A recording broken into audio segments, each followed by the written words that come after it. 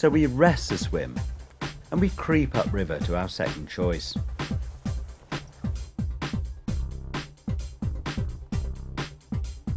What we find there is incredible. It's alive with feeding fish, both chub and bream. This is a result of pre-baiting. Oh man, there are one, two, three, four, five.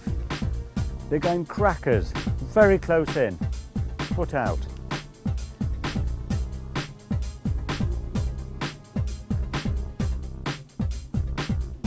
Oh, wow. There are two or three just got their heads up at the moment, so they might take a piece that's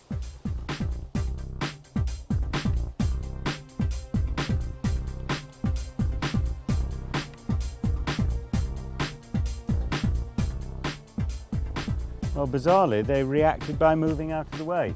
Did they? Yes. Very interesting. They're about a foot further out this time. Get shot up a bit.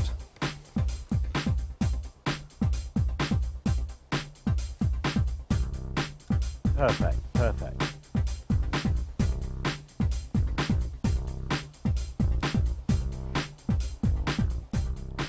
Ooh! Oh, that bounced right over the top of one. He, he veered up and had a look